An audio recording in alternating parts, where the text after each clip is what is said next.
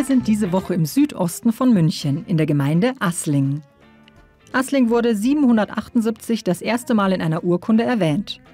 Heute leben in der Gemeinde ca. 4.500 Einwohner. Mit dem Zug Richtung Rosenheim sind sie in einer halben Stunde am Bahnhof Assling. Heute sehen Sie eine Zusammenfassung der Beiträge aus Assling. Jeden Beitrag können Sie in voller Länge in unserer Mediathek finden.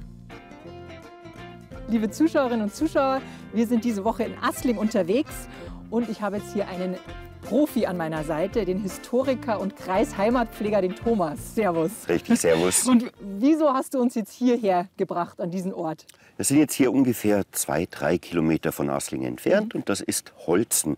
Eigentlich, wenigstens wenn wir schriftliche Quellen angehen, die Wiege von Assling. Denn im Jahre 765, da wurden hier von den Grundherren Schenkungen an das Kloster Freising gemacht. Mhm. Für sein eigenes Seelenheil mhm. hat der edle Poapo hier das Land seiner Eltern ans Kloster geschenkt. Der edle Poapo? Richtig. Ja. Aha, wer war das? Ähm, Poapo war ein Grundherr, Aha. der also viele Güter hatte. Nicht nur hier bei uns. Ims, Zirl, Innsbruck hat ihm auch gehört. Wow, also Aber Holzen hier Aha. auch. Okay. Genau. Ah, und, und er hat es dann an die Kirche verschenkt. an das Kloster in Freising, denn das Christentum war damals noch gar nicht so etabliert. Es war ja so, natürlich waren die Römer schon Christen seit Konstantin und die Franken seit Chlodwig, aber man weiß ja nie genau, ähm, wenn man hier sich das mit den anderen Göttern nicht verscherzen will, dann tut man sie vielleicht hier auch mhm. anbeten. Das war der Kirche nicht recht. Und deshalb hat man hier die Schenkungen entgegengenommen. Mhm. Tatsächlich war das eine der ersten Schenkungen. Und deshalb wissen wir hier. Der ersten Schenkungen in ganz an, Bayern, oder wie? Ja, ja? an das Kloster mhm. in Freising, in unserem Raum, allemal. Ja. Und vom Ursprungsort Asslings geht es jetzt rüber nach Niklas Reuth, zu einem jungen Mann, der seine Leidenschaft zum Beruf gemacht hat.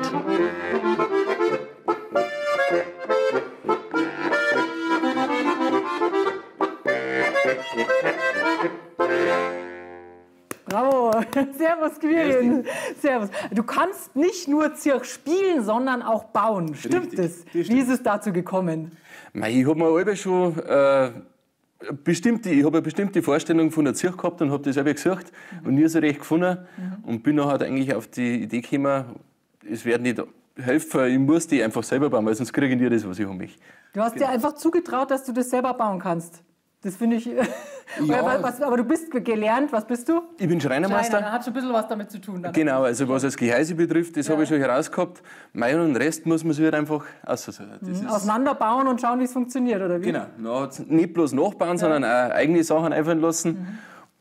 Mhm. Nächtelang bin ich da, da geguckt und habe mir Sachen ausgedingt und ausprobiert, weil du hast viele Materialien, wo ich eigentlich nichts davon verstehe als Schreiner. Mhm. Das sind Metallsachen drin bei den Mechaniken, die ganze Stimmerei und so weiter. Also da habe ich mich viel damit befasst. Und Gott sei Dank auch das Meistel, dass ich sehr gute Mitarbeiter habe. Wie lange gibt es das jetzt hier schon, dass du die Zirch bauen kannst? Meine eigene Zirch baue ich jetzt seit acht Jahren. Seit acht Jahren. Mhm. Und jetzt hast du hier deinen eigenen Laden und schon eine eigene Manufaktur aufgebaut, Richtig, oder wie? Genau. Und die musst du uns jetzt zeigen. Die zeige ich, ja, genau. Von der Auswahl des eigenen Holzes, der individuellen Bemalung bis zur eigenen Anordnung der Mechanik.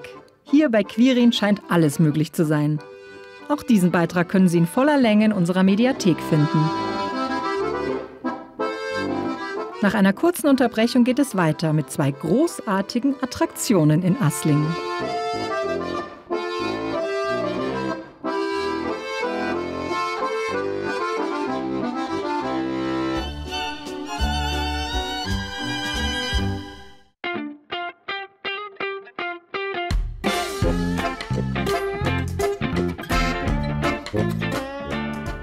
Wir sind in der Gemeinde Assling und dieser Trommelwirbel führt uns direkt hierhin. Guten Tag, ich bin die Zirkusdirektorin des weltbekannten Asslinger Mädchenzirkus und ich möchte Ihnen heute unser jüngstes Zirkusmitglied vorstellen, Bimbo den Elefanten.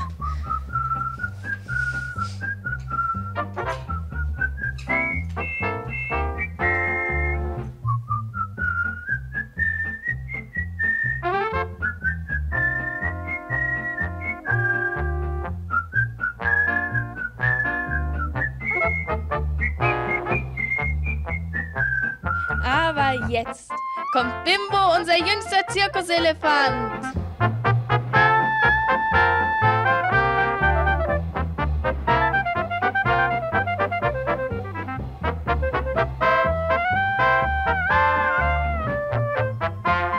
Aber jetzt kommt Bimbo, unser jüngster Zirkuselefant.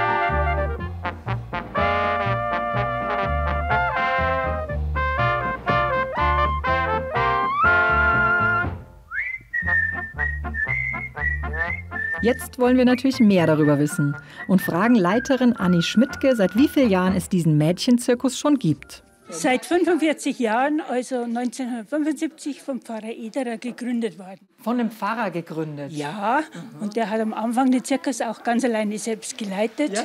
bis dann andere Mütter mit dazu kamen. Mhm. Also ich glaube, ich war die Erste, die mit dazu kam. Mhm. Das war dann 89.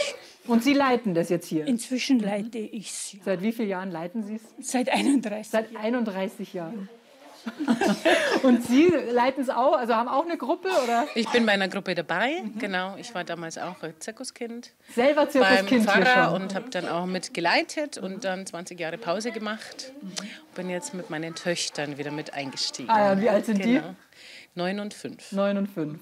Und, und war, also das war ja wahrscheinlich schon eine Besonderheit, dass hier so ein Zirkus gibt für Kinder, oder? Sicher, sicher. Woher kommt diese Idee? Äh, die hatte der Pfarrer, der hat sich damit beschäftigt gehabt, äh, mit Behindertenpädagogik, soviel ich weiß. Mhm. Der war Heilpädagoge. Mhm. Und da hat das Zirkusprojekt so ein bisschen entwickelt. Mhm. Und es hat dann gleich, also hat, ist gleich gut angekommen, oder? Also gleich viele mitgemacht? Ja, da waren immer viele Mädchen dabei, mhm. ähm, weil das Angebot an Hobbys sehr gering war zu der Zeit. Und warum nur Mädchen? Wie kommt es dazu? Also anfänglich war es natürlich für alle Kinder und dann hat aber der Fußballverein gesagt, dem, dem Ganzen ähm, ja, einfach ein bisschen Konkurrenz gemacht und dann waren nur noch wenige Jungs da und dann sind die ganz ausgestiegen und dann ist es ein Mädchenzirkus geworden. Von dieser Attraktion in Assling zur nächsten. Und diese ist nicht nur ein Highlight für Kinder, wie uns Helmut und Karl-Heinz beweisen.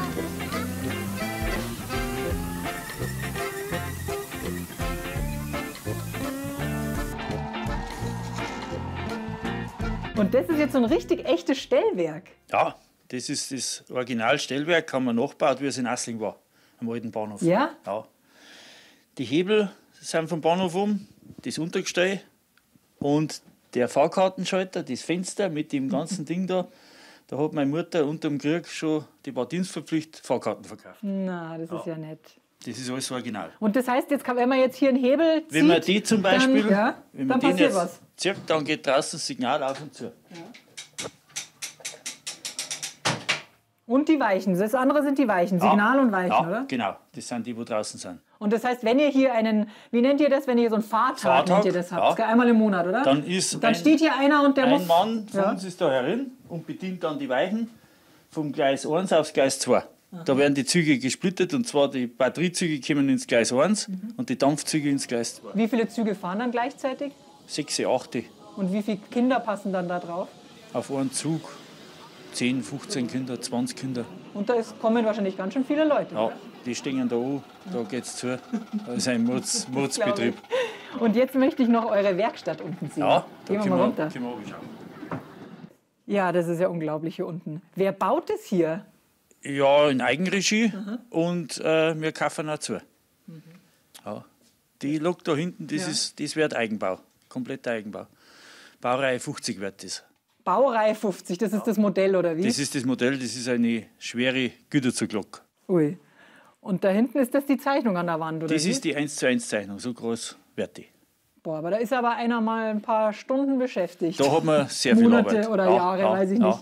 Wir haben Teile zukaufen können und jetzt sind wir gerade am Kessel, äh, Kessel bauen. Mhm. Das machen wir selber. Aber wie finanziert ihr das hier? Mit dem, was wir einnehmen. Mit, aber es kostet ja keinen Eintritt oben, oder? Nein, Eintritt haben wir keinen. Na, also es kosten dann nur, die Fahrten, nur also die, Fahrten, die Fahrten halt und was es halt Essen und Trinken gibt. Ah ja, und dann könnt ihr euch das hier finanzieren mhm. über die ja. letzten über zehn ja. Jahre, gell? Ja, mhm. genau. Also seid ihr richtige Profis jetzt hier im Eisenbahnbau? Ja, ja, der zweite Vorstand, der Andal, der ist in der Werkstatt herunten. Das mhm. ist unser, unser Techniker da. der ist schon Rentner und ist gelernter Maschinenbauer, der richtet immer her. Mhm. Weil es ist meistens was zu machen. Es ist noch am Fahrtag, da ist noch dies wieder, dann geht dies wieder nicht oder es muss ein neues Lager neu gebaut werden und sowas. Das macht alles der Anderl. Mhm. Also brauchen wir wirklich eine Leidenschaft dafür. Ja, ja, ja. Weil ihr das ja alle so nebenher macht, aus reinem ja, Spaß an der Freude, gell? Ja, mhm. genau. Ja, mhm. ja jetzt, jetzt möchte ich noch schnell eine Runde fahren, oder? Können wir? Also fahren obwohl Winterferien sind, fahren wir mit einer. Zwar nicht mit einer Dampflok, aber Nein, mit einer batteriebetriebenen, mit oder? Batterie Gehen wir mal raus. Ja. Wenn auch Sie mal auf so einen Zug aufsteigen möchten, ab Ostermontag ist der Fahrtag in Assling wieder geöffnet.